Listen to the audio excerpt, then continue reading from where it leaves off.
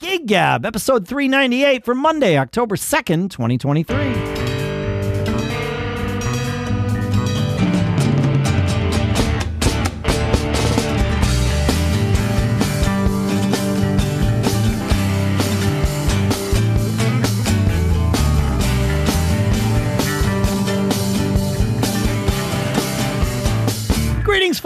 And welcome to Gig Gab, the show by, for, and about working musicians. Sponsors for this episode include Bandzoogle, where you can go try it free for 30 days at bandzoogle.com and then use the promo code GigGabPod to get uh, 10% off your first year of any subscription. So we'll talk more in depth about that in a little bit. For now, here in Durham, New Hampshire, I'm Dave Hamilton. You're in Santa Cruz, California, Paul Kent. How's Santa Cruz today, my friend? Beautiful today. You know, this is the best time of year out here. You know, the fall is the is, is San Francisco, the city of San Francisco too. That it's the best time of year. September, October, early November. The weather's beautiful. Skies are clear. It's just fantastic. That's great. Yeah, that's good. Yeah. Yeah, man.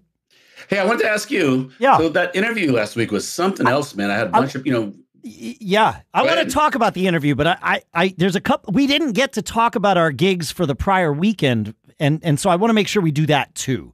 So I don't know. We can talk about the interview up front, or we can, uh, you know, backload the sort of reactions to the interview. Uh, drummer's choice. I, I, Drummer's choice. Let's talk about these. Uh, let's talk about these gigs. Um, I had Go. I had two really interesting lessons that I learned. One of them is a lesson that you and I have talked about on this show many times, and it's the whole idea of counting off a song in tempo, right? You know, f- finding the tempo, feeling the tempo. We were we played a bitter pill gig a week ago Sunday, and uh, we played uh, among many of the songs that we played. We played this tune. Uh, one of ours called "Come Set on the Porch a Spell," and I it- it's one it's a tune that needs to sit at the right tempo, and so I like get it. I feel it in my body. I'm like, okay, yep, I I, I know where it is. This is going to be it. Great.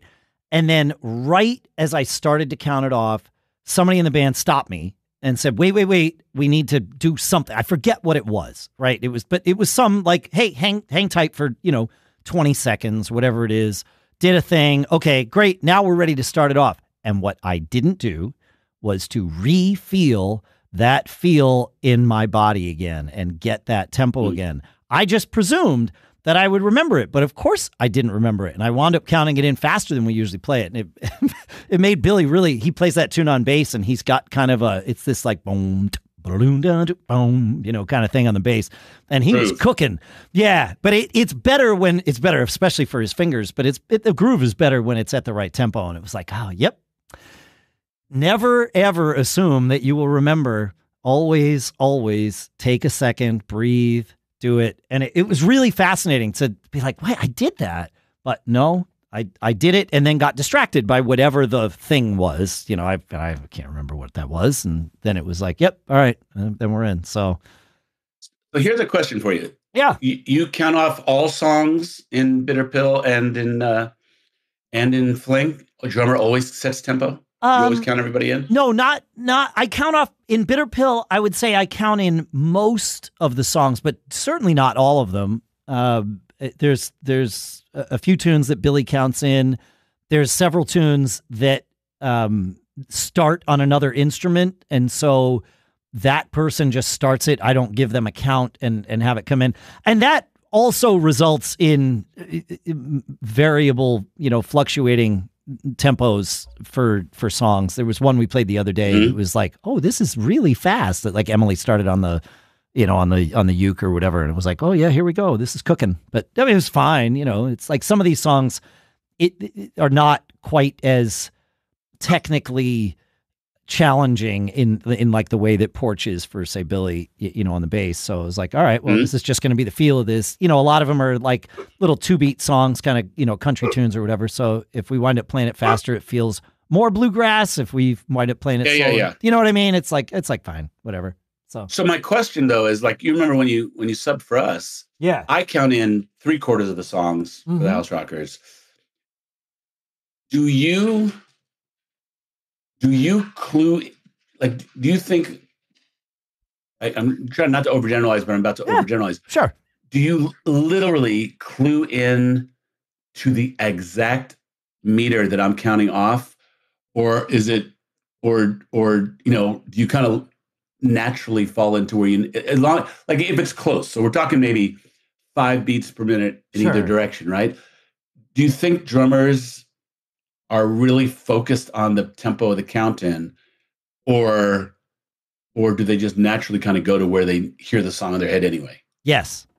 I, I mean, I can only yes. I can only speak for for one drummer in particular. Sure. But uh, I mean, it depends on the song. If I know, for example, that a song like that was the first time that we played Porch that fast, and it was like, ah, right, I can't let this happen again. You know, with some songs, like I said, it comes in fast, we keep it fast, it's fine. Porch was like, eh, I mean, it was fine, but it definitely couldn't have been faster than that. And probably if that happened again, I would slow it down within the first two bars. I have this thing, and and this isn't like a hard and fast rule, but it is a policy that if I'm going to change the tempo of a song dramatically and intentionally, uh, especially if I'm going to slow it down, it needs to happen in the first two bars.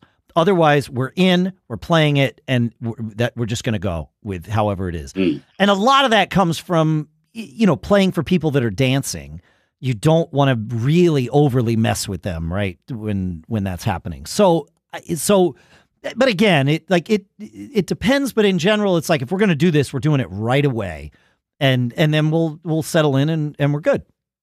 Um, so for me, it, you know, when somebody else starts a tune or whatever, if it's a tune where I feel or have an opinion that the tempo needs to be in a certain spot and it's a problem if it's not in a certain spot, then I will take their count in with with you know the appropriate number of grains of salt and I will just sort of drive it to where it needs to be. But mm. but otherwise, no. In fact, what I wind up doing is hearing that count in my head as I'm playing the first few measures and making sure I'm locking in and treating that as as gospel, right? Like I mean, yeah. we've been we've been doing this theater show. I'm doing this passing strange thing, and the uh, you know the the music director will count in many of the songs. Uh, there are some songs where he doesn't count it in. He just kind of gives us a head nod and we're in. And with those, it's like, well, whatever tempo I feel like it's supposed to be is kind of where it's going to be. And, you know, hopefully I've got it close to right. And most of that is I watch the cast. You, you know, I watch who the singer is. It generally that's my that that's the person that that matters most is the singer or the dancer, right? Is you know, somebody is is is dancing to this, I need to make sure that they are in their comfort zone. If someone's singing it, I need to make sure they're in their comfort zone. Um, but you know, there's there's a lot of songs where Bobby will count it off, and I will you know, kind of replay his count in my head as we're playing the second, third, and fourth measures and just be like, yep, are we where Bobby counted this? Yes. Okay, great. Y- you know, good. Now we're, we can, we're off to the races. We had an interesting thing on Saturday. Um, this show is running, they call it in rep with another show, which means that there's another musical happening on the nights that we're not playing. It's not like this is the only musical that's happening in the theater. It's mu- another musical called Bat Boy. And so we had to that that does not have the band on stage, and uh, so we had to you know move all the stuff onto the stage for the the, the two gigs that we played on on Sunday. We played yesterday, and we realized when we came out, we went through sound check, everything, all good, everything's fine. We realized when we came out and started the show that Bobby's um, music director Mike was not plugged into anything, so we did the entire first act without hearing him, and a lot of it without being able to see him because there's people in the way. So that was kind of fun.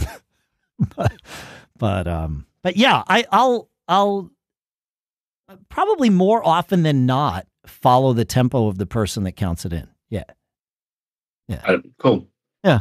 Um, but again, now it, to play to a click is a, is playing to a click is, seems like an interesting thing to me because it would feel to me, I would assume, never done it, but unless your drummer is really really good, unless everybody's really good, aren't you like aware that you've pushed a little bit. Now you got to slow it down a little bit. Oop, I've slowed down a little bit. We got to get like, aren't you chasing the click often? Isn't that like the the deal if you're not good at playing to a click? It's, it's almost need, worse than you need to be comfortable playing to a click. And everybody that's hearing the click in their ear needs to be comfortable playing to a click. And I say it that way because I've played some shows where, you know, only, and it, I, I don't think I've played any. I have to think more about this, but I'll, I'll say for now that I haven't played any like cover band gigs or rock gigs where I'm playing to a click. But I've done plenty of theater shows where I'm playing to a click. And with those, not everyone chose to hear the click in their ear. It would certainly I would, and off almost always, and pro- probably always, the music directory, so the keyboard player would also hear the click in their ears. But it mm. wasn't necessarily everyone. And and the people that chose not to hear the click in their ear would just know to follow me and and that's fine. But yeah, there are moments where you're chasing the click. Um, there and and there are also moments like you know if not everybody's hearing the click and somebody jumps the form, well then now you've got a problem. You, you know, if if yeah. the click is being used to trigger samples or something, it's like okay, so you you do need to have a um sort of a safety valve where you just you know hit the emergency button and stop the click and and the tracks that might the click might be triggering and just play the song you know by yourself sort of thing.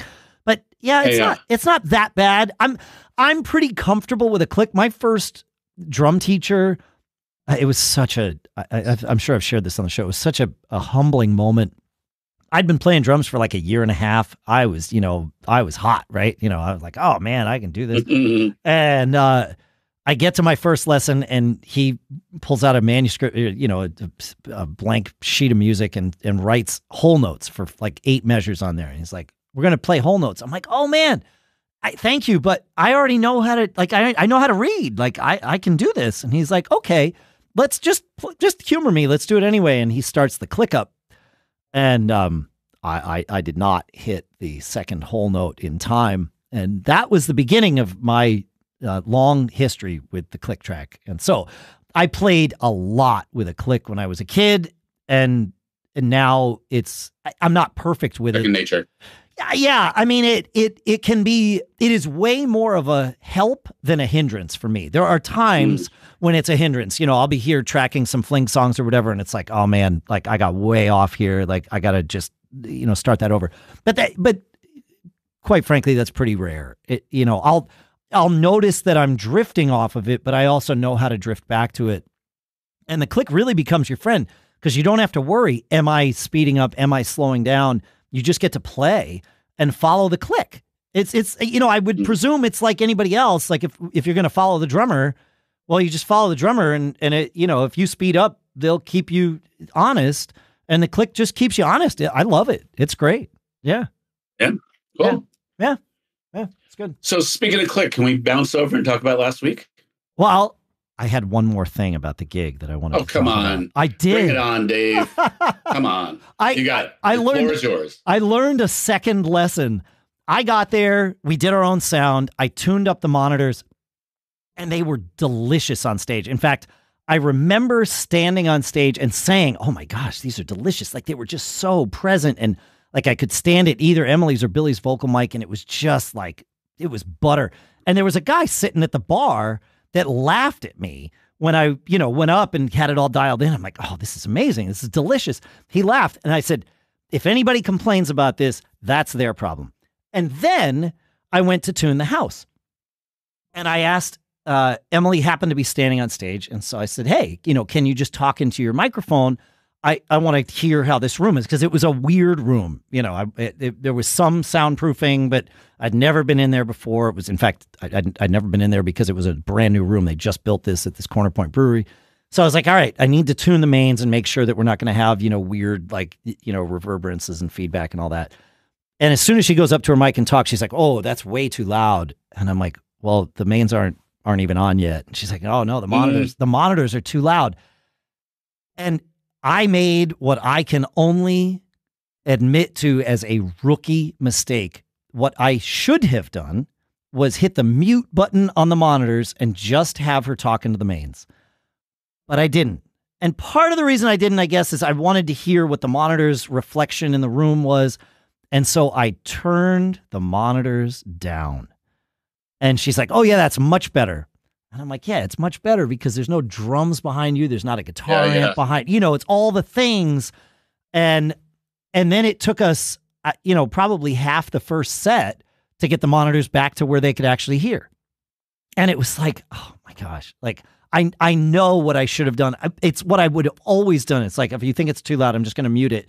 I'm happy after the first song for you to tell me it's too loud because then we know. In, in a vacuum like that, it's really hard to know. And I was like, oh, man, Yeah. what a what a rookie mistake I made. yeah. Well, let me let me share a story. So we um the coffee house gig that I talked about, it's coffee house that hold about 60 people, 50, 60 people. Yeah. And um last several times we played there, the band will get there early and actually, you know, play through whatever new music I've asked the guys to learn. So we um we set up yeah. and we get we're getting ready to play and um we start into the first song and one of the bandmates significant others you know lovely person um winces runs up it's too loud it's too loud so there's a whole bunch of dynamics that go on here right so right. is- oh yeah, that's a loaded statement right there. Yeah, yeah, yeah. Ye- well, there. So, so, you know, I don't want to be rude, and it's a bit of an untrained ear. Luckily, the woman who owns the place was there, and I shouted back to her. The sound. She goes, "No, no, it's about where you know it should be, and it sounds different when the room is full." But that moment where you know, a the wince and the and the not quite scolding, but you know, like Yeah, yeah. direct tone uh you know you there's a whole bunch of things you check off in your mind like oh i don't want to be rude i don't want to you know be condescending you know but it, you know it it's now created a vibe because it was such a direct comment right? And uh uh you know luckily i could get a second opinion and that was fine. And after the gig i said to the person i said you know i didn't want to be rude but you know i i needed a different perspective. It didn't seem that way to me. Yeah. um, but just had that moment of pause where a quote unquote untrained ear, not understanding the dynamics of the situation, the room was empty, you know, all that type Yeah. of thing. Yeah. Um, you know, most most of the Yeah. time when I have an untrained ear come and tell me it's too loud, I I've learned, and I'm not always right about this, but but I will default to this. I've learned that that means the vocals aren't loud enough. It's it's not that it's too loud; it's that the balance is bad for for them. You know, and and so uh, my default when someone again untrained ear says it's too loud is I'll go turn the vocals up. I'll give them another couple dB and like you know, and then say, okay, yeah, we, we adjusted things. Let me know after the next song. Yeah, you know, and oftentimes they're like, yeah, that's much better. It's like great, thanks. Not always though. Like sometimes it's actually too loud, and that's you know, that's how it. Uh, Yep. That's how it goes. All right, and today we get to welcome Bandzoogle back as a sponsor here. Bandzoogle makes it super easy to build a fantastic, stunning website and online store for your music in minutes. All the features you need are already built in, including dozens of fully customizable templates, tools to sell music, merch, and tickets commission free mailing list tools to help grow your fan base and send newsletters. They've got integrations with Bandcamp, SoundCloud, YouTube, Bandsintown, and more so that you can easily add content from your other online profiles and integrate it all. And plus, if you have any trouble, They've got live support, and it's all from their musician friendly team seven days a week. We've been using Bandzoogle for Fling for a while now. I know, Paul, you use it in the House Rockers there. It's because Bandzoogle is made by musicians that are also nerds, right? Like they understand how to do the web stuff, but they also understand what we as musicians and people in bands and artists need. Plans start at just $8.29 a month, which includes hosting and your own free custom domain name. And because you're a GigGab podcast listener, you can go to bandzoogle.com to try it for free for 30 days and then use the promo code GigGabPod. This is all one word G I G G A B P O D. Right. You use GigGabPod to get 15% off the first year of any subscription. That's bandzoogle.com. And the new promo code is GigGabPod. And our thanks to Bandzoogle for sponsoring this episode. So, hey, Paul, I don't know if you remember, but last week in uh, episode 397, we had Adam Moskowitz. I loved it. One of our listeners called him Adam Moscow Wizard here on the show. Do you, do you remember that, Paul? I don't know if you remember that. I, I do remember. It was handsome guy, drummer, right? Yeah, I think so. Yeah, yeah, Yeah. yeah. um, Adam was awesome. I mean, what is what a story to tell. And you know, a week later, just still thinking about so many of the things that he took us through. Super soulful guy. You know, I think his earnestness and sincerity about how much he loves what he does. I mean, you you couldn't spend that time doing all that tech work if you didn't really love it, right? That would be that would be hard. I still am um, fascinated is the best word by the concept of a band with that many subs and different people getting offered. You know, you know, I, it's hard enough to keep the same guys on the same page.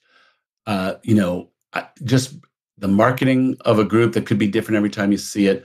You know, oh, the VAM Band's playing. Where's the rest of them? You know, that type of thing. That still strikes me as an interesting thing. He's built this brand that if you see the van, the VAM band, it's going to be quality. Whatever I put on stage, yep. you can count on it. It's going to be awesome. Everybody's great. They actually have four quality people available at each spot in a startup band that that took a huge break during COVID and just got out of the gates after COVID. That whole story is remarkable to me. I mean, I just think it's just like a social engineering thing. It's it's a pretty incredible story.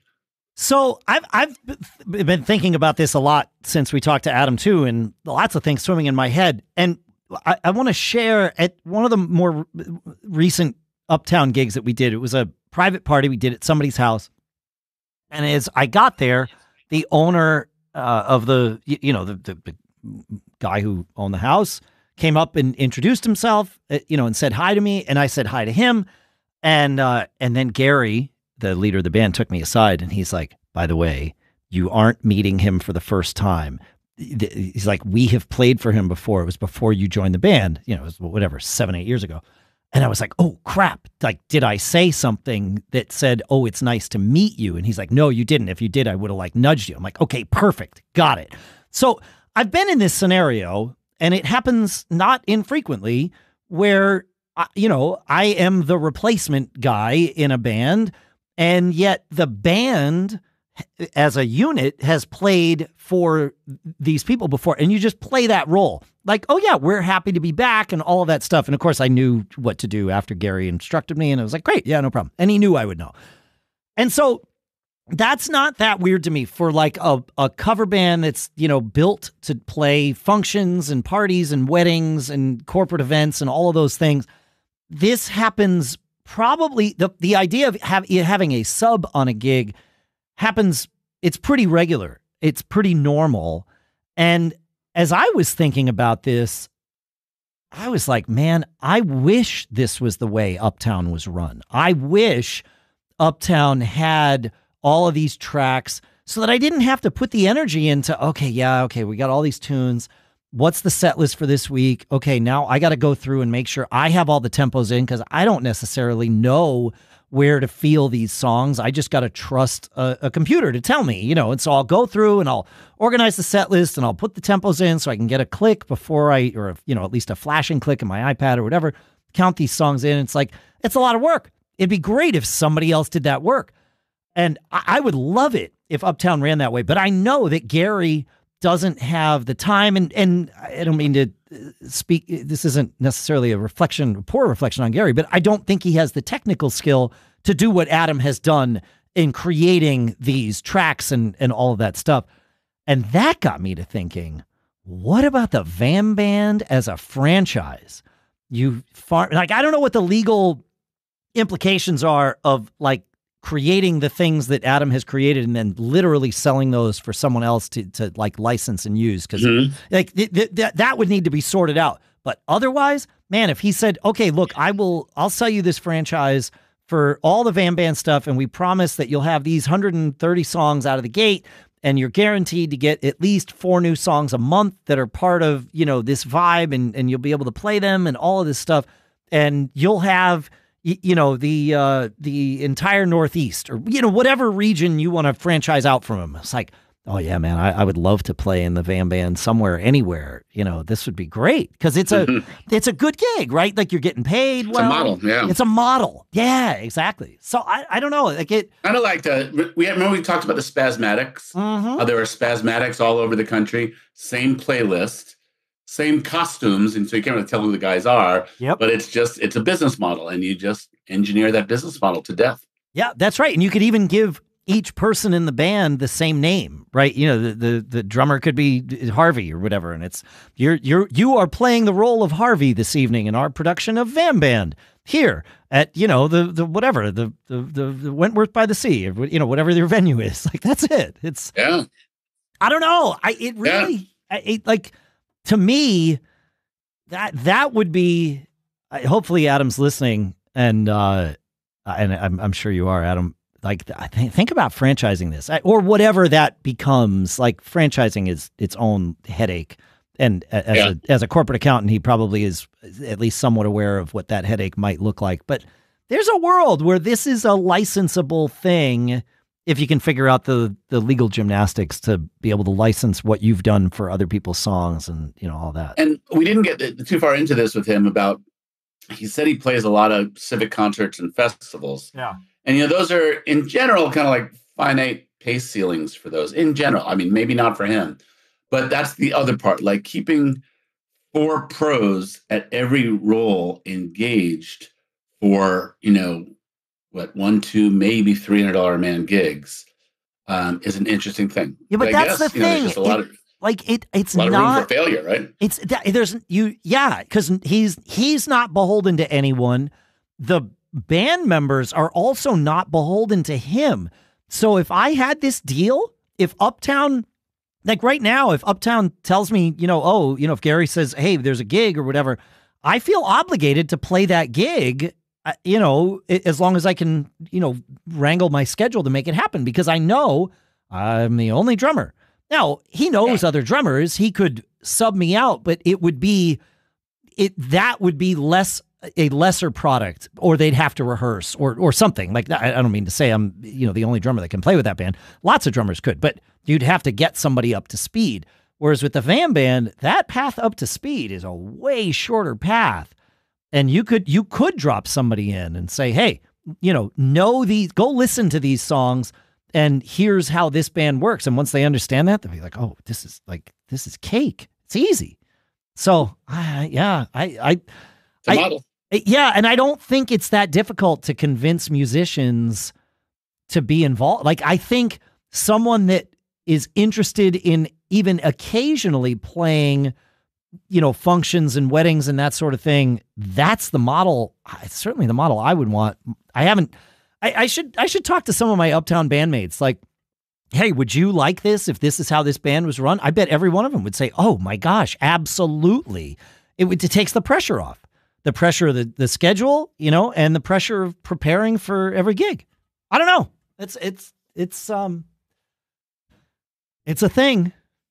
It's a, it thing. a thing for sure. Yeah. And he's clearly successful at it. So clearly, you know, yeah. Yeah. So may he long may he run.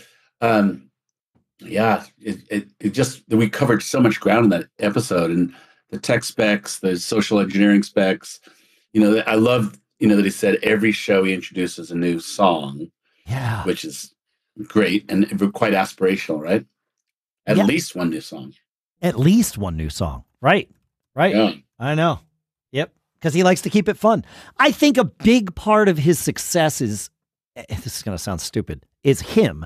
And I don't just mean him in terms of Adam's willingness to run the band and organize it, but I think just his attitude is a big part of the success of that too. He's so positive. You can see from watching the videos that he's just Mr. Happy Go Lucky on stage and it's like, yep, just follow the follow the conductor, you know, and uh and it's going to be totally fine. Don't worry about anything. Yeah. It's all covered. We're all here. Enjoy. It makes me think, you know, we've gotten such great notes over the years from from band guys from around the world, really. And um, hearing how other people do it is really fun. You know, I, I, know I get kind of locked into my way of doing things. I don't, I can't ever see that I would do the way that Adam does things. Sure. Um, for for a number of reasons. Technical chops, not the least of them. But um, yeah, you got to be a nerd you know, to be able to pull pull the stuff together that he does for sure. Like you, you know, Yeah. that- yeah, that's not a. I mean, it's not that difficult. I don't want to scare anybody off that heard that and said I can figure this out. If you heard it and said I can figure this out, you are correct. You definitely can figure it out. But it it's gonna take a little bit of time and it it to to learn how to do it. And the learn first curve, yeah. The there's a learning curve, and the first few songs are going to take you way longer than the you know hundred songs that come behind them. So yeah, 'Cause what did he say? Now every song takes him about an hour to get locked up, right? it's amazing.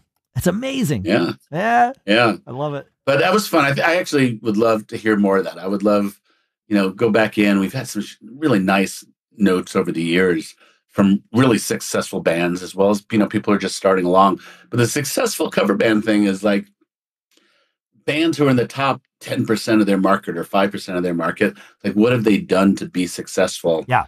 And you know, what is their model? Right? You know, it. it it, what are we going to say? You haven't heard my Mustang Sally or my Uptown Funk, right? I, it- everybody has a much better story than that, you know, that is, is really compelling and interesting. Yeah. I think we should do more of that, Dave. I agree. And and, and next week we'll have uh, Mike Schulte from the Pork Tornadoes. Oh, yeah. on. So yep, yep. We're gonna we're gonna talk to Mike. Mike's. Mike's been Mike's been reaching out to us maybe longer than Adam was, right? Uh, possibly. Yeah. Yeah. Exactly. Yeah. Yeah. It was. It was. And So Yeah, Mike's a good guy. He do, he has his own podcast actually, the Confused Breakfast. We'll uh, we'll talk about that too next week. But um, but yeah, yeah, it's yeah. uh, so you know what what is it? And he Des Moines, Iowa, they're they're playing huge gigs. Yep. Gotten cultivated a great fan base. They look like a super fun band, and um, clearly guys can play really well.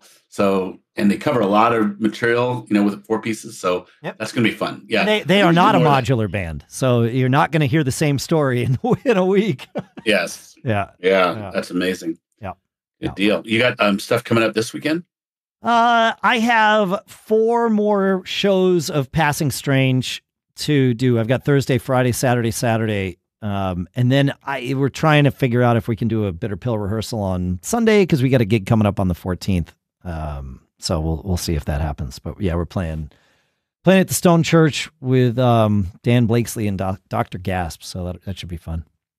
But uh, Awesome. I've got yeah, what about you? Yeah. I've got yeah, Saturday I have a new winery that I'm playing solo and someone saw I was playing there and, and brought their 50th birthday party there. So I picked up another hour and a half and you know, kind of another another shift, so to speak. Yeah. I'll play a double at that winery, but nice. I don't have to move anywhere. And then, um, oh, that was the other thing I was going to tell you about. So my my Central Coast Winery band, which is a four piece, Okay. uh, bass guitar, drums, and keys. Um, the drummer is in Portugal, and we had a gig. And I called the venue and said, "Hey, can we do it as a three piece? Would you mind?" They're like, "No." They were totally fine with it, and it's a tasting big outdoor patio at a winery tasting room thing. And we did it as a three piece, and we got tons of kudos. I mean, people really liked it. And yeah, there were a couple things where where we were chasing tempo a little bit, but it's so fun sometimes where something you do one way for a long time, you change one piece, and you just hear and feel, and you, you hear what your bandmates are doing in a slightly different way. And it was really kind of fun. We got tons of great kind of huge tip day, and you It's know, never whatever, a bad thing. You know, the, yep. no, never a bad thing. So uh, it was just kind of fun to take one piece couldn't make it, and we didn't. We just made sure it was okay with the venue, and kept the gig, and just did it and see how it worked out. Again, it wasn't a dance gig to begin with, so you know I knew that our our chances to succeed were pretty high. But it turned out being really fun, and we opened some things up in a different way and covered some time in a different way, and uh, it worked out really well. So that we're going to do that again because the guy's still in Portugal. So we're going to do that again next week on Sunday. And then I've got a couple weeks off. Uh, but the House Rockers have our big ticketed Halloween gig at the end of October that I'm the tickets or sales are going pretty well. Um, I'm going to look forward to sharing that with you. So we've kind of you know talked about business models and we've kind of built this two ticketed gig in in one geographic area. And so my wheels are going like, yes, that is where it's pretty safe bet that we can do things. But this kind and, and here's the essence of this business model. There are people that want to go dancing. They're probably a little bit older. Yep. They don't want to go to a nightclub. They don't want to go someplace that's super crowded. They want to know that they can get a seat, right? So you know these these this is like a not a bad business model. So I'm really curious if we did it someplace where we had maybe less, but still some you know solid following, whether we'd be able to build you know a third and fourth event a year and do these types of things. And you know we pretty much have almost gotten rid of our club dates now. Um, you know, our, our winters are kind of all privates and our summers are kind of all festivals and concert series and privates. So I'm wondering if we actually can build that part of our business. We huh. raised the price to $59 for a, for a ticket and, um, and are experiencing no loss of interest. So it tells me there might even be more up. You know, I'm, I'm comfortable right here wow. where we are, but you know, yeah. So that's, that's not a that's not a low ticket price. But the audience and the venue and the experience that you're, we're selling, it's you know, and we're not the most expensive. There's a guy we talked about him in the show. His name is Joe Sciarrino. He's probably the most famous cover musician in the in the San Francisco Bay Area for many years. I mean, he was like house band for the 49ers, and he was kind of first call for any big corporate gig for so many years. I think he was like 79 or 89 dollars, right? So yeah, if you got and, that, fans, and that's there, and there's you, no there's no food involved in that. That's just to see the band. Is that right? Yep. Yep. Well, I mean, if we think about where concert tickets are now, you know, like like a like a you know going to, to an arena to to see some A list band or whatever. I you know, and I realize that bucks. yeah, it's exactly we're in easily triple digits for almost every touring band that's out there, right? Like you know, I yeah. there are some Phish shows where it's less than a hundred bucks. Garth Brooks, I think, on his last stadium tour, did eighty nine bucks a ticket for every ticket in the venue, and there could never be a different price. But by and large, you know, you're, you're at 150 bucks and then some for and yeah. maybe and maybe like you said 400 like is not uncommon so to charge 59 i mean it's how you make money and and things cost more now we've we've inflated the economy so yeah yeah. And remember, you know, a cocktail is 15, 18, 20 bucks. Exactly. So, yeah. And I, you know, the Silicon Valley is a, you know, fairly affluent area. Yeah, right. Um, and again, the, the audience that's, you know, this isn't kids choosing to do this instead of going to the local bar for the night. This is a pretty mature audience that wants a good, safe, predictable, fun yep. environment. Yep. Big dance floor, like I said, guaranteed a seat. They love the wines. We do special pricing for the wine club members, but the wine club members are probably only about 15, 20% of the total tickets sold. So, you know, it is it has turned into a, a model that has some legs. You know, we've been able to raise the price a little bit over over the three, four years that we've been doing this thing. And there's just a lot to learn about it. I mean, you know, luckily again, me having event management background right, chops, I know right. the basics yeah, of what right. need to happen. But you know, it's a thing. And this is the this is this is the value of cultivating an audience, right? Like if people yes. know your brand and know your product and trust your brand and trust your act, um, you know, and they're like, you got to see these people, and they bring two friends, and you know, how many? We also like a big part of this is selling tables of ten. We, you know, almost sold out of tables at ten, wow. and it's almost as many tables as it is. You know, you get a discount Sure. Um, but it's almost as many tables as it is individual tickets. I mean, that's people get the idea. Hey, I'm going to bring all my neighbors. Or, hey, I'm going to bring my whole family. So there's something really to learn there if you've invested the time. You know, I go back to my great friend Dave Hamilton when I first started playing, who said, "On your breaks, go make friends, go shake hands." Most valuable piece of cover band advice I've ever gotten was fans are money fans are gold. Oh, that right? it's not just and cover so, band advice. I, I would do that at original gigs. The the only place I don't do that is theater gigs. I, and there are plenty of places I don't do that. The only place that I can get away with not doing it in a in an appropriate way is theater gigs, right? In fact, it would be mostly inappropriate if I went out and like you know glad handed the audience like at, at yeah. intermission. It'd be a little weird, but um, but otherwise, every, original gigs for sure. Like these people come out to see you. It, they're they're not there just for the songs, right? Like I mean, it, they they're there for the songs that you play, and you're the only band that plays them, right? So it's it. I would I would argue it's just as important, perhaps even more important. But but I don't think it's. I don't think there's degrees of importance of this. I, I think it's if if people are coming out to see you play, go talk to them, get them on your mailing list, like go do all the things because that's what brings them back. It's not going to bring 100% of them back. It might bring, let's say 10%, but it might be 50. But 10% is better than 0%, and zero is what you're going to get if you don't do it. Yeah. So, yep. Yeah, I mean, you what you you create that connection, yes. and and it it it it sprouts. I mean, it just it, you know it just grows branches and branches and branches, and it leads to you know more event referrals, more private event referrals. You know, and again, if you have an audience, at least out in California, you can almost write your ticket, right? If you are going to be bring people who sell beer at a festival, you can get a top spot at a festival. If you're going to bring people who buy drinks, you can you know cut a deal where you get the door Yeah. you know at a club and or, or whatever it is that you want to get. So it, it that that you told me that right when I was starting to play again, right after you and I played together, and most useful bit of of cover band and yes it's really business advice but most useful bit of cover band advice i've ever had and, and it's paid so many droves for us uh, you know and luckily i have a bunch of guys in my group who like to go out and you know meet the people and Yeah. those connections you know it, they're matters. just- they're money they're they're gold Yep. and, and it is, actually makes your life as a musician even even more fun to see familiar faces who you know are rooting for you when they come to see you that you know have a homer crowd any any gig can turn into a party Well, and and the best part is when it gets to a point where the people that come to see you start self-organizing, right? And and are Yeah. happy not just to be there to see you, but happy to be there to see each other. And when that starts to happen, man, like protect that with everything you have Mhm. because that's the thing that's going to get you there. Yeah.